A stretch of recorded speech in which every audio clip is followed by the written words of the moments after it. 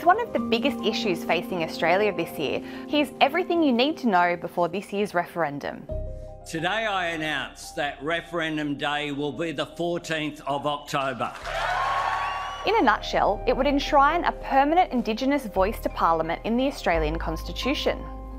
It would see a federal advisory body formed with the purpose of recognising and representing Aboriginal and Torres Strait Islander people and consulting with the government.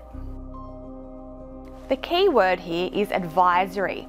It would help Indigenous Australians inform the Parliament and government on matters that directly impact them, such as those relating to native title, employment, or housing, but it would not be able to launch court challenges or invalidate laws. Legal experts have endorsed it. People on all sides of the Parliament have backed it.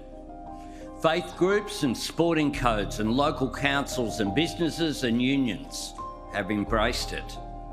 An army of volunteers from every part of this great nation are throwing all of their energy behind it. Now, my fellow Australians, you can vote for it.